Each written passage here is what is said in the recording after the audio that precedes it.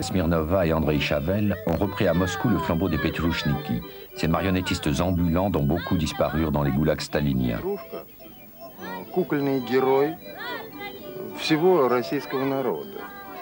Он живет так, как живут все русские люди, россияне. Все эти проблемы, которые сталкиваются россияне, с этими проблемами сталкивается и Петрушка.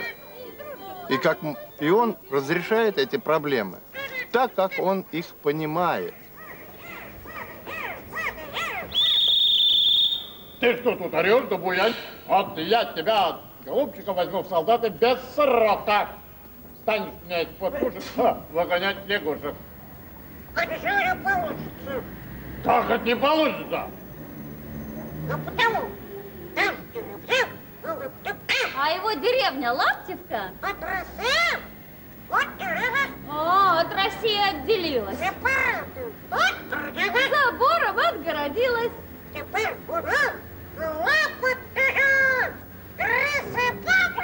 теперь у них лапотная республика. И своя армия, наверное.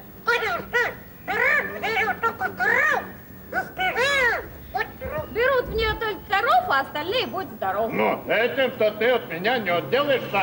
Смирно! Бери ружье, Субрун! Это палка, это не ружье. А дураков прежде с палкой! Смирно! Равняйсь! Кругом! А, левый, правый! Э, А! Петр Иван! А! Петрушка, А! лежачего не бьют, Петр Иван! Лежачего у нас не бьют.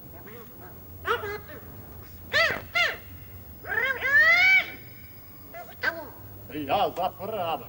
А вот я слева. Я за левых. Я за народ.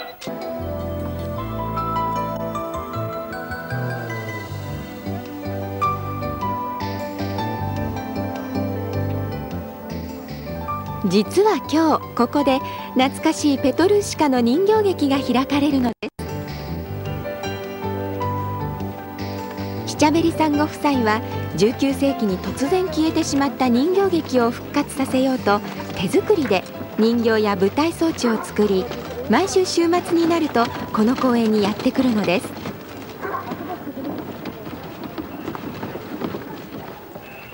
17世紀頃に始まったこの人形劇はペトルーシカという主人公が繰り広げるコメディーです。その中に痛烈な社会風刺が込められていて縁日に集まる民衆の人気の的でした。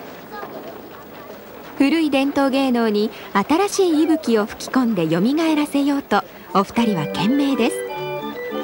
出し物はおよそ20分。セリフはその場の雰囲気で自在に変わりアドリブなども入って観客を楽しませます。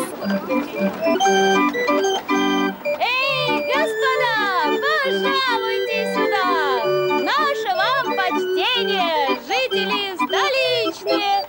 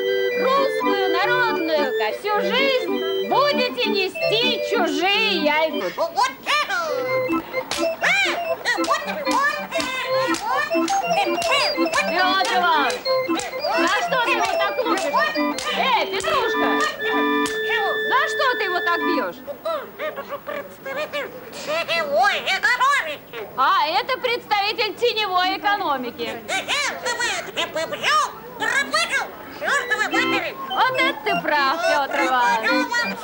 Верил, Петр Иванович. Слушай, после армии жениться можно. Ты посмотри, какие невесты-то вокруг стоят, а?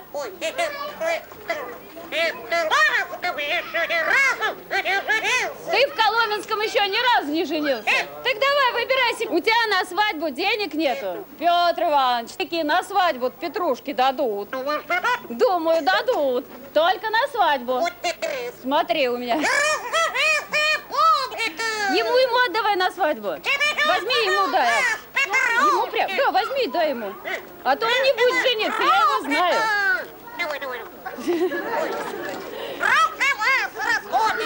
Рубль расход небольшой. Дом не построите за рубль, корову не купите, зато на свадьбе погуляем.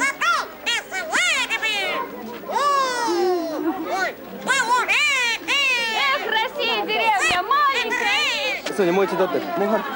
Соня, хай. Хайте, Петрушка, хай. Петрушка, хай. トルはいおいしいしありがとうペトルありがとうって言ってんよ仕事はとっても楽しいよ。子供たちもペトルーシカが大好きだしこの人形劇を復活させてもう5年になるけどとっても良かったと思ってるよ。お金もまあまあ稼げるしね。疲れるかって？いやいや Куклы, э, この人形は19世紀の職人が作ったもののコピーなんです Ага. а оригинал... 私が作ったんですよ自分たちの伝統を受け継いでいくことはとても大切なことだと思います Ой, как Сонечке понравилось, да? Ну обними, обними, обними. Да, обними. Ой, ой, как просто вообще. Ну, ну что-то, да? А давай. Ам. Какая удача! Слушай, а куда девался Петр Иванович? Эй, Петрушка! Ты переодеваешься? Ты цыгана звал, выходи, он уже тут. Мусию, Петрушка, здравствуй! Как живешь, Боже, хорошо ли ты хвораешь?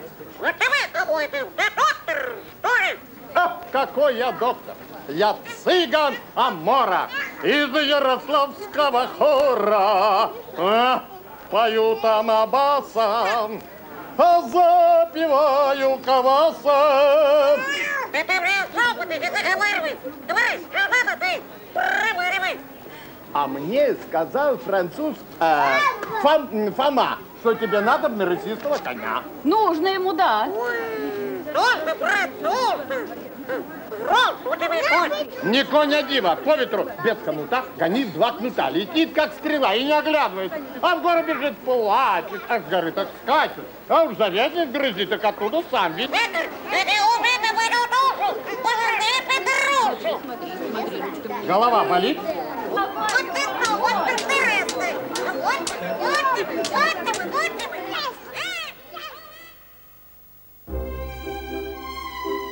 Герои связаны с 15 веком, когда появились уличные представления артистов с Петрушкой.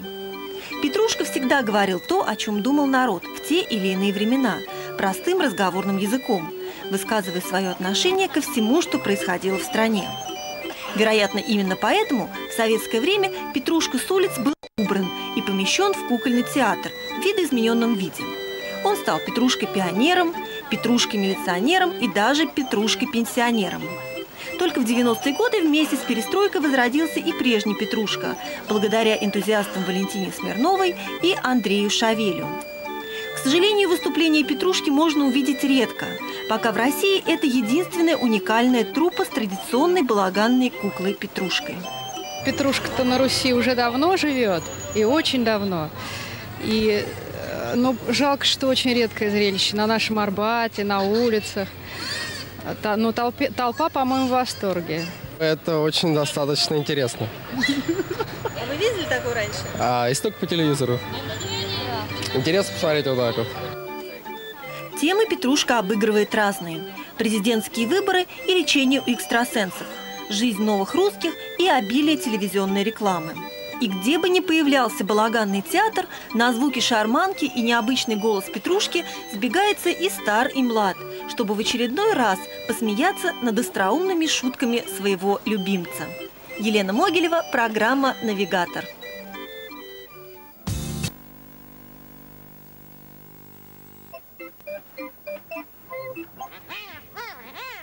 Che Petrushka, lontano cugino di Pulcinella, sia davvero rimasto l'unico entusiasta di Boris Yeltsin in Russia.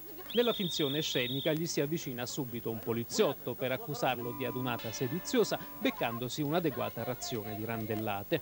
Nella realtà la baracca di Pietrushka viene guardata con simpatia dalle forze dell'ordine, segno questo di un clima finalmente un po' più rilassato in un paese dove qualsiasi cosa, anche la più banale, necessita tuttora di autorizzazione scritta. In questo caso la direzione del museo di Kalomenskoye, che sorge in uno splendido parco che sovrasta un'ansa della Moscova, non ha avuto difficoltà ad accordare ad Andrei Saviel e Valentina Smirnova il diritto a rallegrare la passeggiata dei visitatori, invitandoli ad un tuffo in una Russia che non esiste più.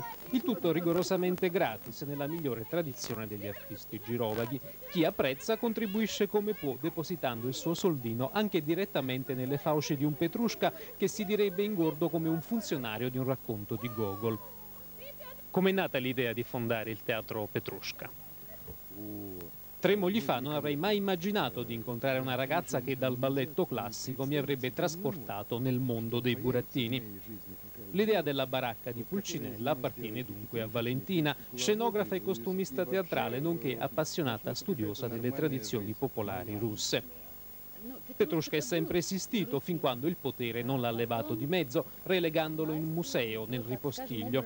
Questo è accaduto a partire dal 1935, quando una censura totale colpì gli artisti girovaghi.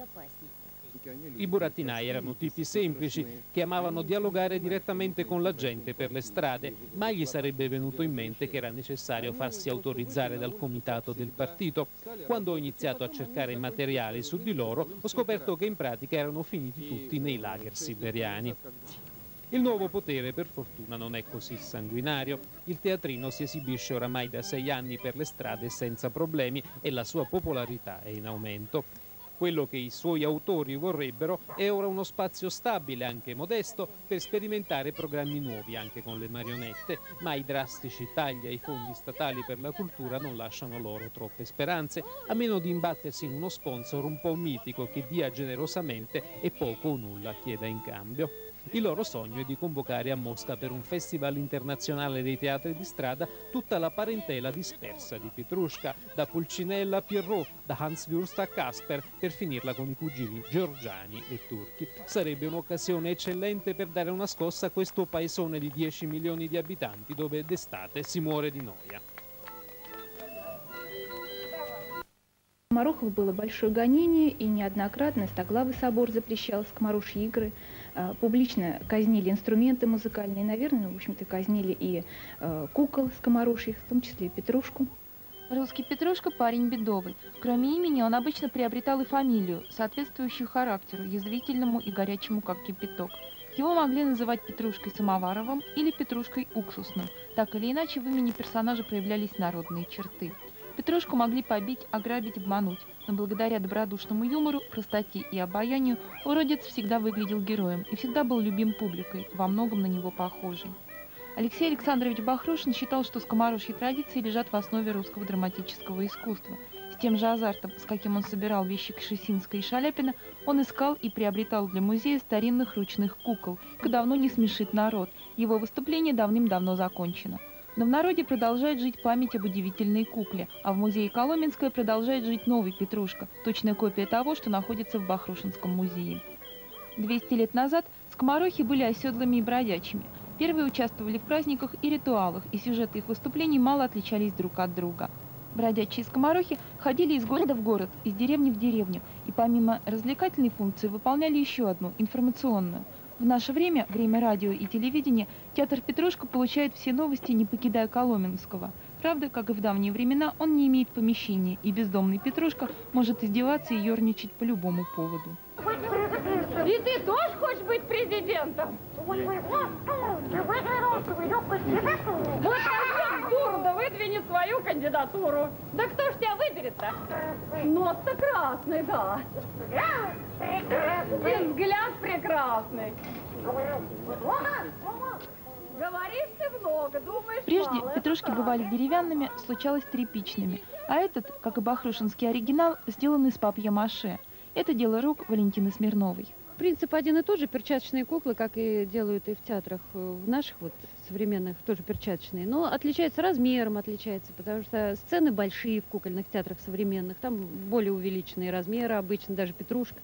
Ну, не петрушку я имею в виду, а перчаточные куклы называются петрушечные куклы еще в театре. Ну вот э, перчаточные куклы, они даже больше размером, да и стилистикой, и, ой, и изобразительно даже отличается. Вот чем Трудно сказать. Чем еще существенно замечатель Петрушка как персонаж? Вот. А, как персонаж это удивительный персонаж, потому как он живет уже сколько? Вообще, Две с половиной тысячи лет. э, Это уже я вам могу сказать совершенно ответственно, что значит, э, персонаж вот э, Петрушка, он начался в Италии и живет по сей день как Пульчинелло, уже живет две с половиной тысячи лет.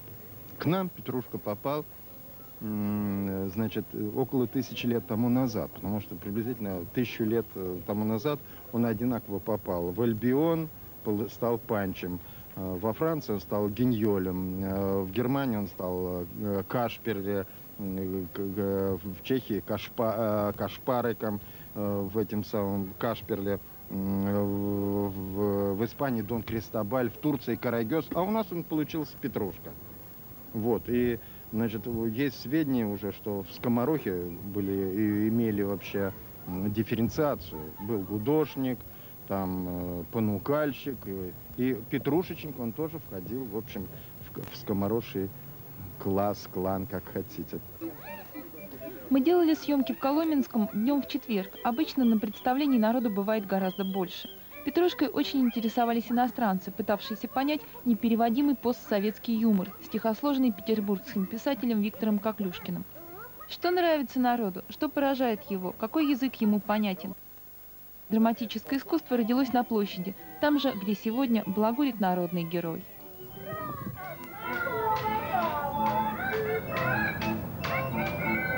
Вернулась еще одна традиция Масленицы. Любимый в народе герой Петрушка дал свое первое представление на Васильевском спуске. Здорово, ребята! Как поживаете? Говорят, масленица широкая, нас всех ожидает. Где еще получится услышать живой голос Петрушки? Этим голосом разговаривает Андрей Милошевич Шавель. Вместе с женой Валентиной он создал уличный театр, настоящий балаган. Сегодня они покоряют ни много ни мало Васильевский спуск под стенами Кремля. Их сцена собирается за 10 минут. Публика окружает балаган моментально. Про Петрушку слышали все, но кто видел Петрушку выступающим на улице, даже на Масленицу? А ведь Масленица без Петрушки не настоящая. Итак, начинаем!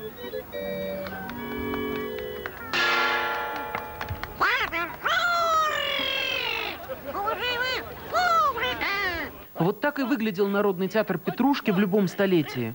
Правда, в 20 веке петрушек сумели искоренить как вид. Уличные выступления запрещали, а петрушечников сажали. Кричишь, орешь, понимаешь? Широкую маслицу праздновать не дает. Бывший солист Большого театра Андрей Милошевич даже не собирался осваивать Петрушкину профессию. Это все любовь. Встреча с кукольницей Валентиной, а уже она заразила его идеей доискаться, куда делся из нашей культуры знаменитый балаган. Кто знает, сколько театральных сундуков они перерыли, пока в одном из них не нашли своих кукол. Вместе освоили шарманку, написали пьесы. Андрей Милошевич и не заметил, как увлекся сначала Валентиной, затем Петрушкой, а потом стал очень на него похож. Говорят, мы похожи. Ну, я выбираю, и меня тоже выбирают. Вот так. Я не знал, три жены там надо, что вот этой дербушку из меня сделать вот этого героя. В пьесе про Петрушку эти копеечки публика собирает якобы на приданной Петрушкиной невесте, Катьке. И никому не вдомек, что на эти монетки маленькая труппа потом живет до следующего выступления. Они были бы рады начать жить поспокойнее, но Петрушка не отпускает. И вот так долго не было на московских улицах, и надо наверстать за все десятилетия простоя. Исполнитель всех ролей откроется публике только раз, в конце представления. А потом снова тихонько скроется за ширмой, чтобы поблагодарить своего игрушечного друга за счастливый день в искусстве. Я тебя люблю. Я тебя тоже люблю. Александр Казакевич, Василий Сергеев, Первый канал. Общество неприхотливое. Ему надо не совсем немного. Хлеба и зрелищ. С этим утверждением можно соглашаться или нет, но бесспорно одно. Без зрелищ наша жизнь не была бы такой интересной. И сегодня мы бы хотели поговорить с вами о театре, но о театре народном, история которого уходит своими корнями в глубину веков, о балаганном кукольном театре. Уличное представление как уникальное явление существует уже более тысячи лет во всем мире. Одним из главных героев любого уличного театра в России был Петрушка.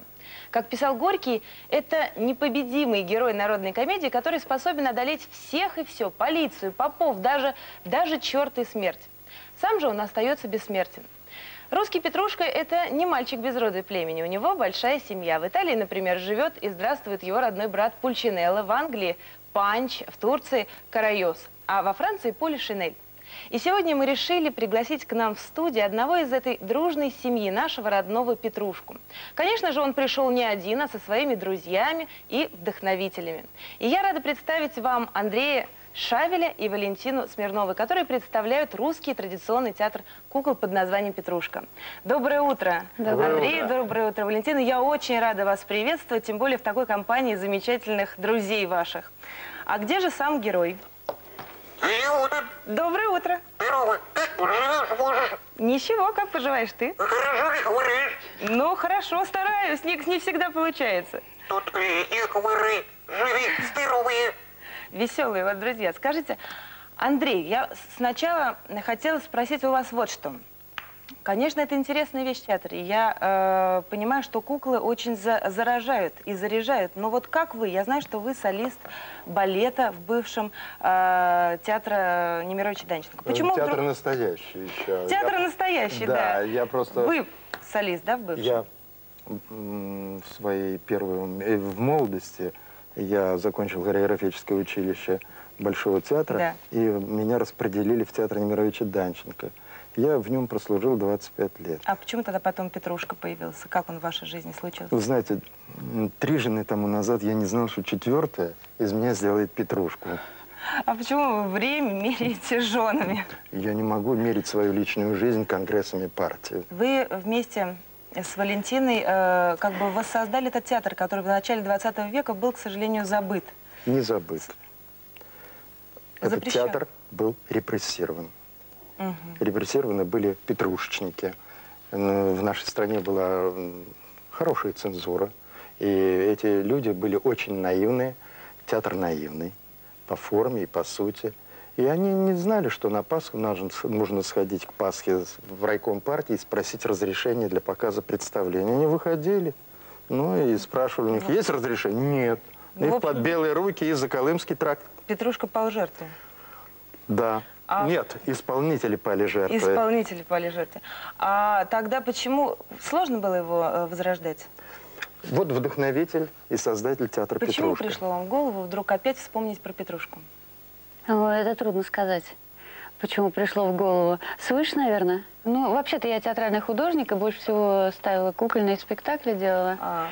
Поэтому, конечно, я куклу знала и, и знала об этом театре, и все. Но я так понимаю, что кукольный театр, который существует, и уличное балаганное представление совершенно разные вещи, да? Абсолютно. А в чем? Петрушечный театр – это корневой театр России, как говорят исследователи этого вида театрального зрелища.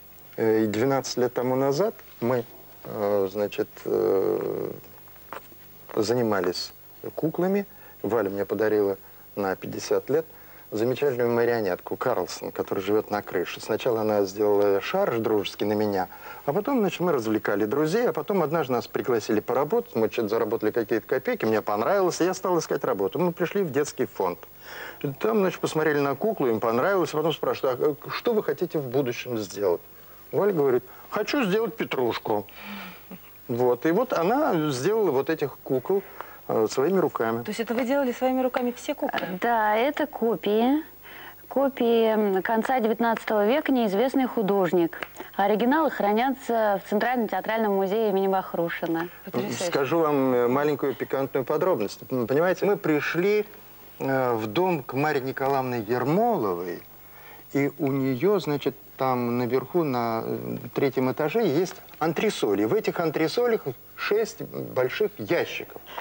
И вы знаете, мы вытащили эти сундуки, все перевернули, и в последнем сундуке Смотреть или нет? Открываем, там сверху какая-то бумага лежит. Валя берет эту бумагу, поднимает, а там вот они. Вы посмотрите. Замечательный. И Вот. очень такой характер Ну, просто передан. Потрясающе. А какие там э, все эти самые Да. солдат, капрал там. Андрей, а, А. вот вы говорите таким, немножко, Петрушка, вернее, э, говорит таким странным голосом. Это что такое? Это инструмент, называется пищик по-русски. Вот, пожалуйста, можете его показать покрупнее. То есть это музыкально? Это, Это просто-напросто две пластинки Мгм. и м, перевязанная ленточкой, потом ниткой пере- заматанная. Потом это кладется в рот, на язык. Вот так. Был такой городок Отелло, который сейчас слился с Неаполем. И вот, э, значит, э, жители этого города, они были очень о вас. Вот вариант такой. И, э, значит, они были очень такие те, тугодумы, и над ними их, их же, значит, э, соседи, жители Подсмеивались. подсмеивались, артисты. И они устраивали пантомимы. И вот один из этих героев пантомимы, пантомимы Макус, он придумал себе э, вот этот вот пищик, и однажды он заголосил э, или пропел. И за этот э, возглас, и за этот голосок он получил прозвище Пульчинелла. Это наз- называется Вот петушок. Да, Да. вот Пульчинелла. И это имя уже существует 1200 лет. Андрей, ну мы не можем пропустить такой встречи с самим Петрушкой. Может быть, он нам сам что-то расскажет или покажет. Хочу показать. Ну, спой или спляши, что ты умеешь. Спой, Петр Иванович. Давай. Что, разлуку будешь петь? Разлуку ты. Разлуку будешь петь? Старинный русский романс «Очи черные». Потому очень черные, это, когда в глазах темно. Когда в глазах темно, Потому что в глазах так светло. это потому, что в мозгах светло.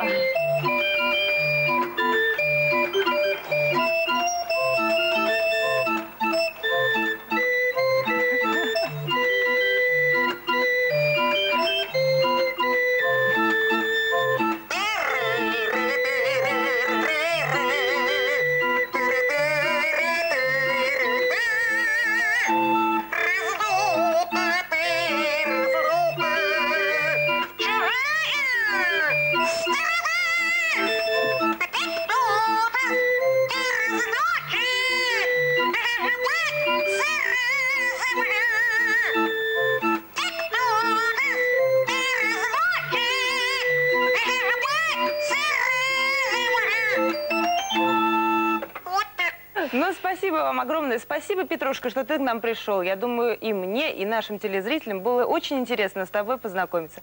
Спасибо вам огромное, Андрей. Спасибо большое, Валентина.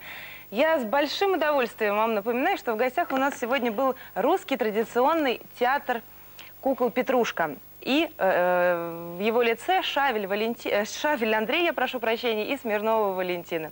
Спасибо, до свидания. От солиста одного из самых известных театров России до уличного артиста. Такую творческую судьбу называет блестящий Андрей Шавель. Он, покинув огромные залы, перебрался на площадь к прохожим и считает, что теперь полностью реализовался. Более того, теперь у него появился верный друг, неунывающий и обаятельный Петрушка. Из-за своей крошечной ширмы он не видит тех, кто смеется над его шутками и аплодирует забавным репликам. Вот уже четверть века Андрей Шавель над своей головой наблюдает только небо. Солнечное, пасмурное, с дождем или снегом. Погода уличного артиста балует не всегда. А случайные зрители и представить себе не могут, что сегодняшний Петрушка в прошлом солист балета музыкального театра имени Станиславского и Немировича Данченко. Десятки ведущих партий, полные залы, восторженные поклонники. Однако Петрушечник Шавель танцовщику Шавелю нисколько не завидует. Я не работаю, я служу. Как по победе, так я вот с ним.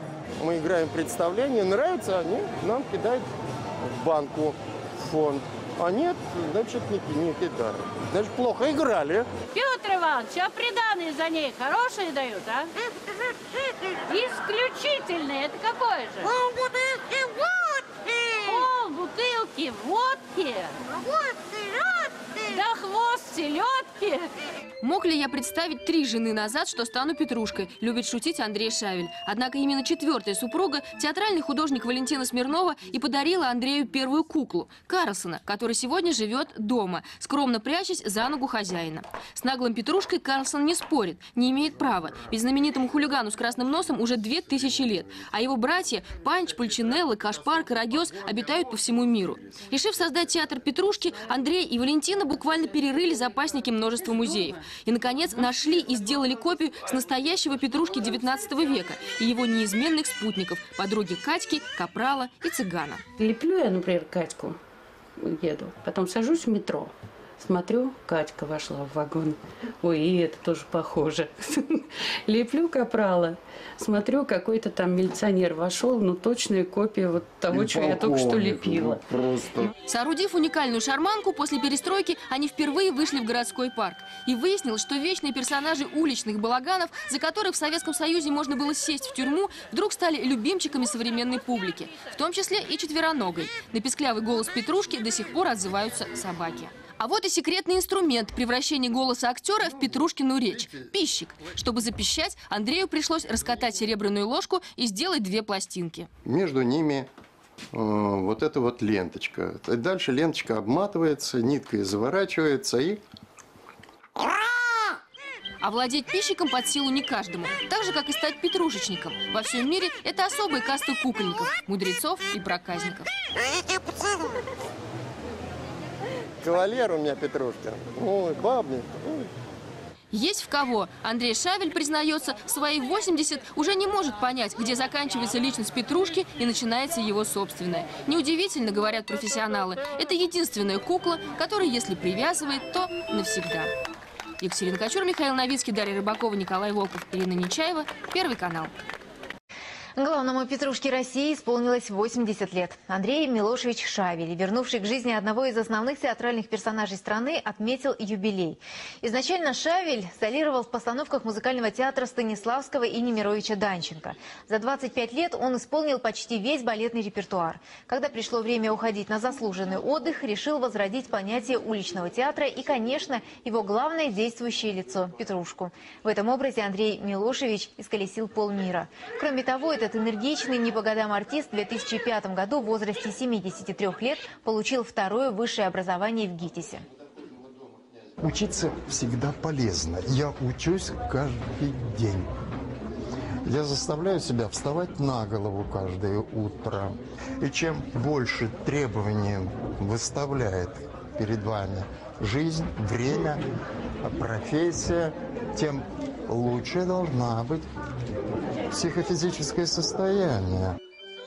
Сейчас Андрей Милошевич Шавель продолжает совершенствовать образ Петрушки и собирается устроить в Москве международный фестиваль уличных театров. От промышленной игрушки к, возрож... к возрождению Петрушки. Так называется экспозиция, приуроченная к 70-летию со дня рождения театрального художника Валентины Смирновой. Именно она возродила этот традиционный театр кукол. Пропустите наше представление. Старинную русскую комедию «Петрушка». Этого Петрушку Валентина Смирнова сделала в 80-х для своего мужа Андрея Шавеля. Бывший танцовщик театра Станиславского и Немировича Данченко выступает с ним почти 30 лет.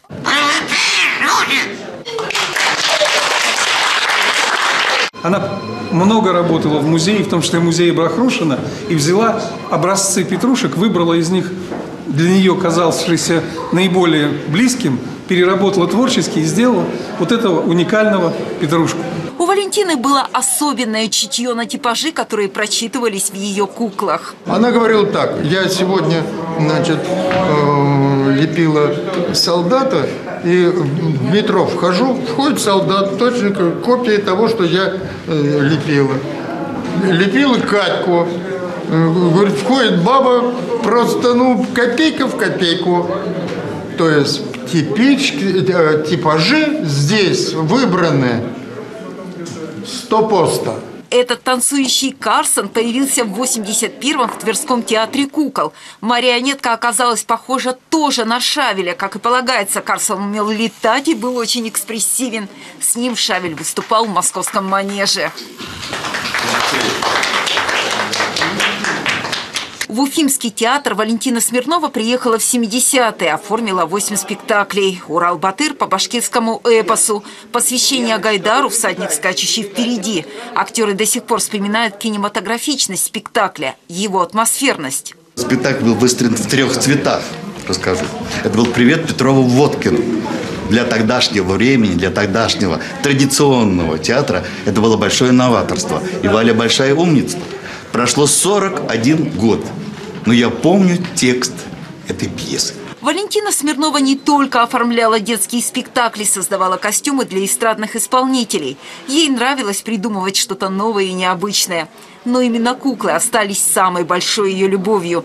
Они все улыбаются улыбкой самой художницы. Елена Ворошилова, Александр Капустянский. Новости культуры. А тем, кому интересно, как театр устроен изнутри, стоит сходить на новую необычную выставку к 70-летию художницы Валентины Смирновой. За свою карьеру она оформила больше 30 спектаклей. Тут и куклы-марионетки, можно сфотографироваться как с народно любимым Карлсоном, так и с розовощеким Петрушкой. Также здесь можно увидеть эскизы кукольных костюмов. Так что экспозиция в Доме музея Ермоловой приглянется еще и тем, кто увлекается дизайном одежды.